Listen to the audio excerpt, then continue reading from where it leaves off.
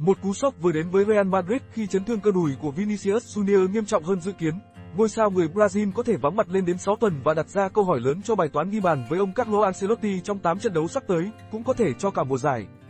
Vinicius dính chấn thương đùi trong trận thắng 1, không trước Celta Vigo hôm thứ Sáu.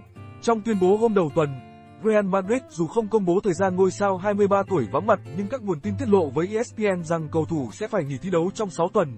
Đồng nghĩa, Vinicius bỏ lỡ 6 trận La Liga đối đầu Getafe, Real Sociedad, Atletico Madrid, Las Palmas, Girona và Osasuna, cũng như hai trận đầu tiên ở vòng bảng Champions League. Cầu thủ cũng bỏ lỡ các trận đấu vòng loại World Cup của tuyển Brazil gặp Bolivia và Peru vào tháng 9.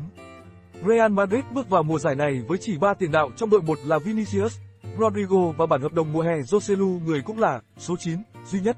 Đây vốn dĩ đã là mùa giải bất thường với một đội bóng vốn luôn nổi tiếng sở hữu những tiền đạo đẳng cấp thế giới trong đội hình từ Alfredo Di Stefano đến Hugo Sanchez, Raúl González hay gần đây Cristiano Ronaldo rồi Karim Benzema. Và giờ đây, họ lại mất thêm Vinicius vốn có năng lực ghi bàn được đánh giá là tốt nhất của đội vào lúc này.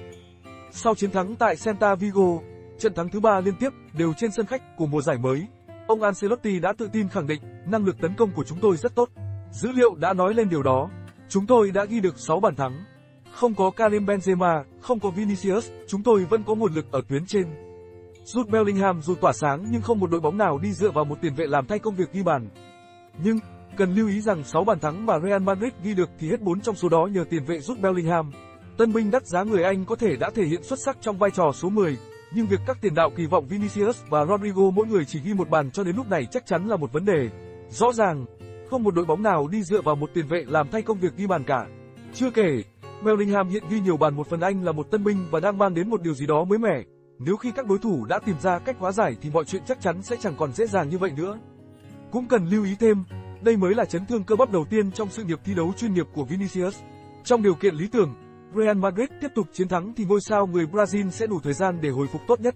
Ngược lại, nếu đội có thành tích không tốt và huấn luyện viên Ancelotti buộc phải thúc ép Vinicius trở lại, đó là mối nguy tạo ra tỷ vết không tốt cho thể trạng của cầu thủ vốn rất cần tốc độ này.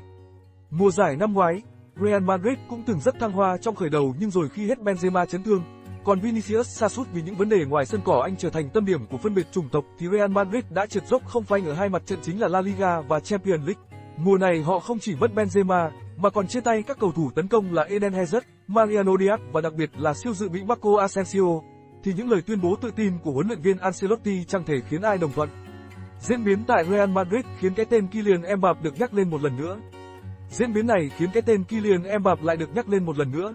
Nhà báo Carlos Capio của Marca tiết lộ, Real Madrid đang chờ đợi một cuộc gọi từ mẹ của Mbappé để xác nhận rằng thỏa thuận này vẫn có thể đạt được ngay trong mùa hè này, kèm theo con số tài chính mà Paris Saint-Germain muốn nhận được.